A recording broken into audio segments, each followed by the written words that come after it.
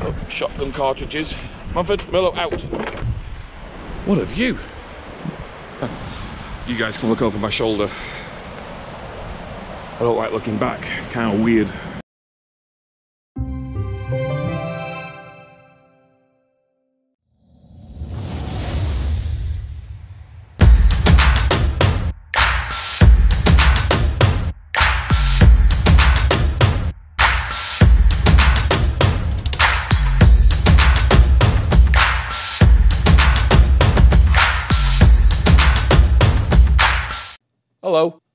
Hello, welcome back to my YouTube channel. My name is Nigel Hay and the channel is Nigel's Cheap Vlogs. I welcome you all back once again. Several things have been happening over the past few weeks. I should say a couple of weeks because I've not done anything for two weeks. And I'm going to tell you exactly why and uh, I'm also going to give you a little insight into the upcoming video. Uh, but if you don't want to hear any of that, you can just skip to this time frame right here. It'll take you right to the start of the video. If not, just listen to me for another minute or two and I'll tell you exactly what's been going on and what's coming up. Usually on this channel, I do things like uh, weather vlogging, COVID videos. Uh, I also do uh, a few travel things outside of the region as well, like air, uh, flying and just, just stuff like that. Basically, I do a bit of everything because uh, I don't exactly know what I want really in life. So anyway, um, I've decided over this last couple of weeks, I really want to give the COVID stuff a rest. I'm, I'm, sick to death of it, I really am. I know quite a few people out there have expressed the same opinion. Uh, even though they do get high views on my YouTube channel, it's not what I'm all about. I, I, I don't care if 50 people watch my video, video, to be honest. I just enjoy making videos full stop. For the time being, COVID is going to be pushed to the side. Just, just pushed to the side like that. So uh, no more COVID for quite a while, fingers crossed, and hopefully it'll just disappear altogether. That said, um, this past week I finally got to go away. It's been 13 months since I had a vacation, so me, uh, myself, the wife, and the kids, uh, we packed up the two dogs and uh, we went away for uh, six nights. Uh, we didn't go far, we didn't leave the province. Three and a half hours away, we rented a cottage on the water, and literally we just packed up most of our stuff in the house, so we didn't have to go out that often and just sat in the middle of nowhere looking over the lake and just relaxing for a whole week. And it was great. It was nice to switch off. Um, I had no intention of making any vlogs with the exception of possible a storm one, which I did try, and I don't think I'll publish it because nothing really materialized out of it. But I did try to do a storm vlog. So on one of the days that I was there, I decided I was out on a walk with the dogs, and I, I took my uh, my small camera, my uh, my GoPro. That's all I took with me on my walk. I put it in my pocket, and we went for a walk just to take some videos, some pictures of the dogs while I'm out and about. I didn't know if it was going to rain or not, so I took them, took it with me. We walked up the road, and as I got up the road, something caught my eye, and basically it was a roadblock. So I had to go and explore it. So before I tell you any more, I want to let you know I'm in the area of Ipperwash, which is like not too far away from Grand Bend on Lake Huron. So anyway, I'm going to leave it at that. I'm going to show you the video. This is just me exploring, and this is what I found. Enjoy.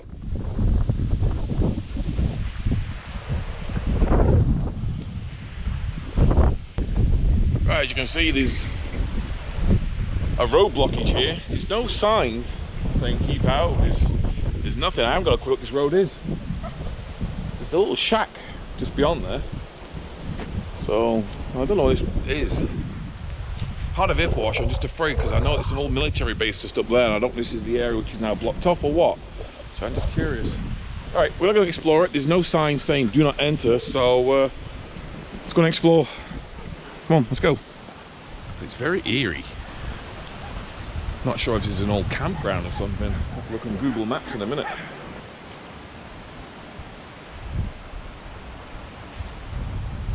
Further south of me is the old army base, which is now a reserve.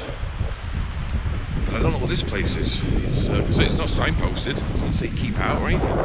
So I'm just curious. So I'll have a little walk around so I can see. But this is it. Just up in the distance is a couple of structures. Some, uh, there's like a bandstand or a gazebo or something. We'll walk up to that before I turn back round. But uh, looks like this place hasn't been used for a while, whatever it is. Maybe it is native land, but my apologies, I didn't see a sign.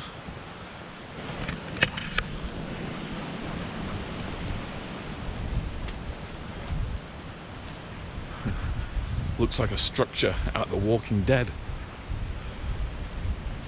Like a gathering where people will come to see. Oh, what are you doing up there? She's not bad for an old dog, is she? Some kind of staging area.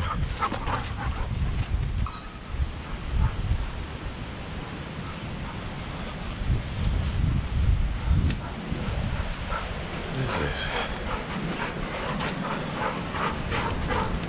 Duramax diesel. These are the fire pits. I want to know what this place was. Looks like some kind of park until recent. Um, um, right by the lake. And I have no idea what this place is. Like I said, it's blocked off, but I just crawled over the boulders, walked through it. No sign saying keep out, no sign saying no trespassing. So I just thought maybe they just blocked it off for no vehicles, but whatever this place is, it's abandoned. So I look down at the waterfront. There's actually a really old trailer right down there, really old one. Kind of a little creepy.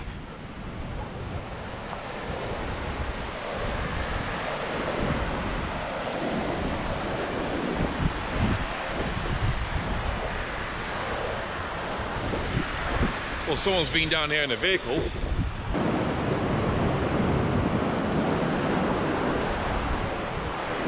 These sand dunes, these are nice.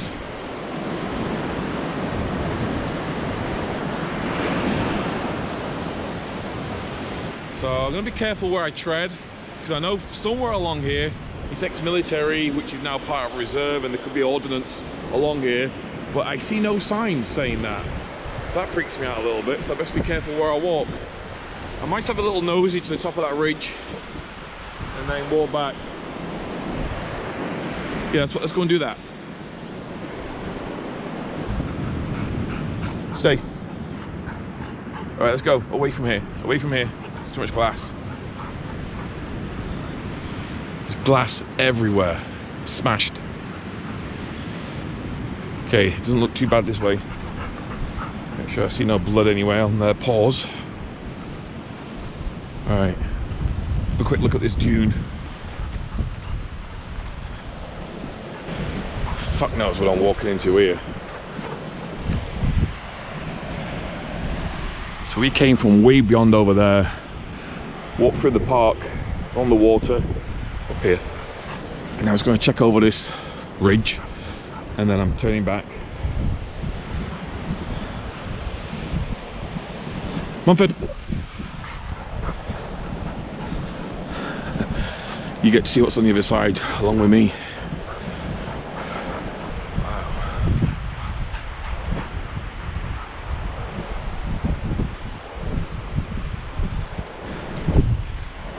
View!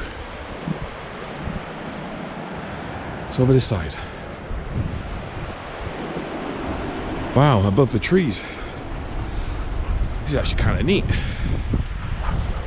Lost the dog though. Hope she hasn't gone far. So on top of a sand dune, a rather large one, which is which seems to be as high as most of these trees here, these big pines, and these pines are 30, 40 feet tall.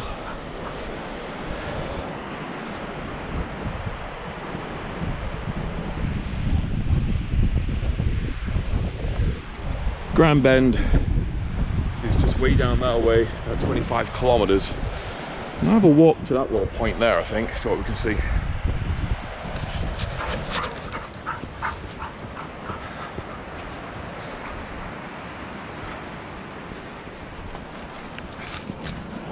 Creaked out there so I might just suddenly shout at me.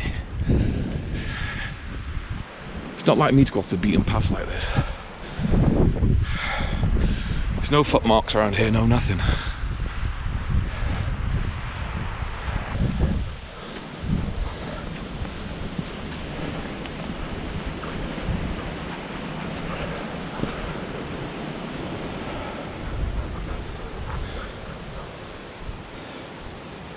All right, we're not going in there. Start heading back.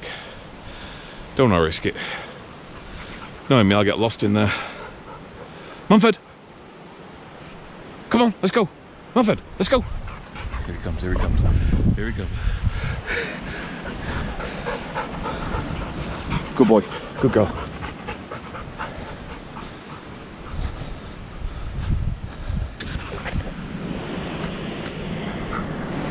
This fire here still smells, so this must be from last night. I have a feeling someone burnt this last night because it still smells. Someone's sofa. Oh, shotgun cartridges. Mumford, Merlot, out. Come on, let's go. Merlot, come on, let's go.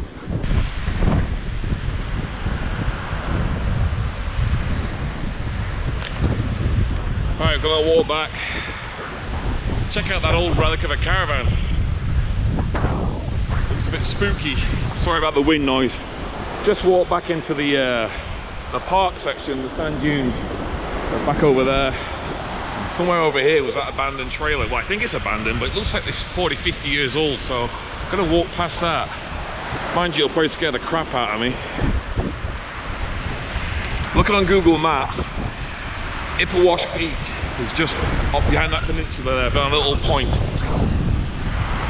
Uh, I believe I looked at the map, Doofus Drain. That's the area, not me, Doofus Drain. So if anyone knows about this area, please feel free to leave it in the comments. What was this place? Why was it closed? Is it part of a reserve?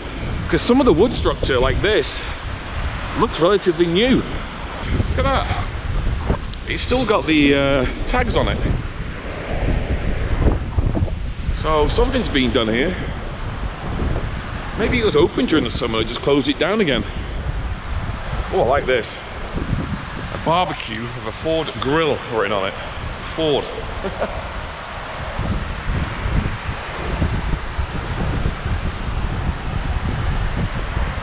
it's pretty cool. All right, where did I see that caravan? That trailer. I thought it was here. Now I'm seeing things. All right, we'll keep walking until I find it.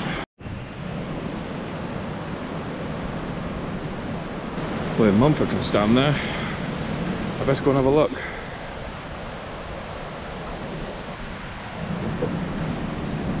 Oh, maybe there is no one in it. From a distance, it looked like someone was in that. The plate on it is not that old. A96.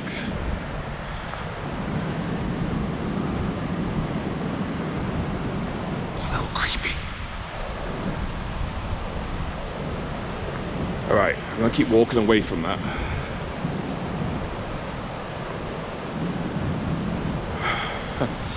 you guys can look over my shoulder. I don't like looking back, it's kind of weird.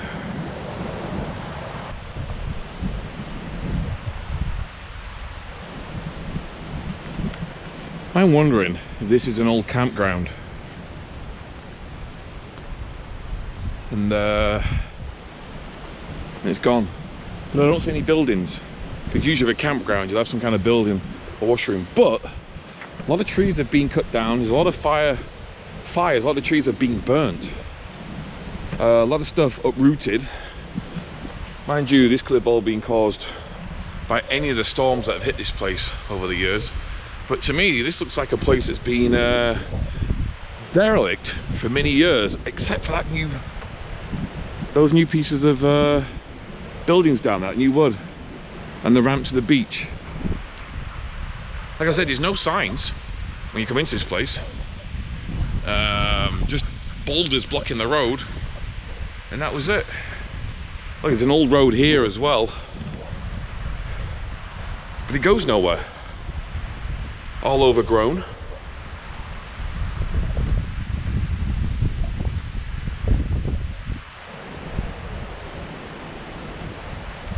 Maybe at some point you could go down there and camp. It's eerie. Because I know there's a lot of uh, a lot of history in this area, not good history either. A lot of with the uh, Canadians and the First Nations here. And I don't know if this is their land or not. Maybe it's what this is all about, is their disputed territory. And if so, I'm going to get off it because I don't want to upset them. What makes things worse, I'm wearing a bloody red coat. Helly Hansen, it's not a British red coat, all right? All right, the battery on my GoPro is starting to die, so I'm just going to use a bit of battery on my cell phone quickly. Boy, is it creepy here. It's like I feel like I'm being watched. All right, let's get out of here. Back over this uh, something drain, whatever it's called. This to me looks old-fashioned. This yellow, the way it's worn away. Another warning sign kind of on the end there. Those yellow and black ones. This thing's got, looks like bullet holes in it. yeah, it's got a couple of gun shells in that. Uh, very much worn out. I mean, that's faded completely and repainted. Okay, things just went a little deep here. I came out a different way. And there's a name here which I am familiar with with history. So, um, if I recall back in 1995, there was um, there was a dispute with the natives and a local guy was killed here and I've just somehow stumbled across it. All literally by accident I did not plan this whatsoever. So um, this is it.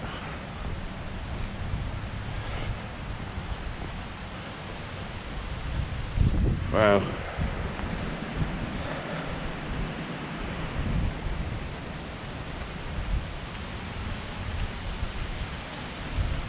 I sincerely did not intend on coming here and finding this. This is uh, literally by accident. I feel kind of bad that I'm actually here right now. I want to get off it. And it is blocked off. This looks like it was the entrance to a beach, so I'm going to presume this is native land. So have a little look in here. Come here. Come here. Muffet. No, I'm not mistaken. I don't know if it's the same here in Canada, but I know Aboriginal uh, people in Australia, I think it's Australia, maybe in America, I'm not too sure where I've seen it, but uh, when someone passes and dies, I believe they're meant to put the bodies on something like this, so the spirits go. Correct me if I'm wrong, but I've seen that somewhere and read it as well, and that's what that reminds me of. That's kind of interesting. So I, I guess I've stumbled across the site where the tensions took place from what I recall, there was a massive standoff here uh, somewhere in this area with Ipperwash with the uh, people on the native land, the OPP, and it's all to do with land dispute. It's something to do with that army place at the top of the road, which I, I see when I come in to this area, which is now given back to the people. Uh, but it was their land, it's meant to have been only taken away from them briefly with a good deal, whatever, and it, it, it kind of rolled on longer than what it should have done. And tensions really flared. So, and I believe it flared up again uh, back this summer. Just very, yeah, weird, sad. Weird that I came across this. I knew there's something weird about this when I came in. Right, I need to get off this land.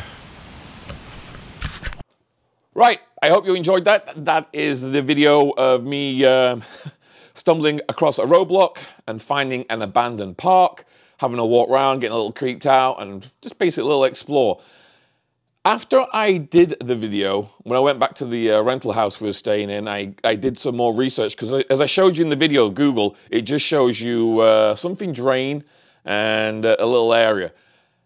But the actual name of the place where I was was, was, uh, was removed. That's why I didn't know what it was where I was. It turns out it was the old Ontario Provincial Park of Ipperwash, the Ipperwash Provincial Park, uh, which I believe closed in 2007 and it was only just recently handed back back to the uh, the uh, the native, the Aboriginal people of the area. I can't remember their name. Forgive me. Uh, so um, some of their words, some of their names are quite hard for me to pronounce, so it's best if I don't pronounce them. So um, yeah, so it's it's now been handed back to them. And also, I read just recently, the army camp up the road is um, is actually earmarked now for a refurbishment. The Ministry of Defence is actually going to uh, refurbish that housing, which is where a lot of people moved into. So that's good news for them there anyway. So uh, I just want to express my sincere apologies if I offended anyone from that community. It, uh, I didn't intend to do what I did. I went to explore. I actually just thought I was walking across an abandoned park or um, uh, something that had been closed down. And that's exactly what it was. And I, I was actually, I'm going to be really honest with you, I was kind of like, I don't know the best way to describe it. Um, I got a chill. when I, when I saw in the corner of my eye, which I thought I knew what it was as soon as I saw it, which was a memorial uh, for Dudley George. Uh, and it's, it's kind of eerie and also starting to chill down me a little bit as I, as I walked up to it. And it was a very somber moment. Um, I've read recently a lot of the stuff, and there's one thing this has taught me about finding this particular place. It made me open my eyes to read a bit more literature about what had transpired in Ipperwash back in 1995, back in 2007, and most recently uh, this past summer where tensions flared again. So I'll put some links in the video at the very bottom. Uh, you can just click on them, it'll give you an insight to what's been going on. So there you go, that was me exploring Ipperwash uh, unexpectedly on an impromptu vlog, and I hope you enjoyed it. Until next time, take care.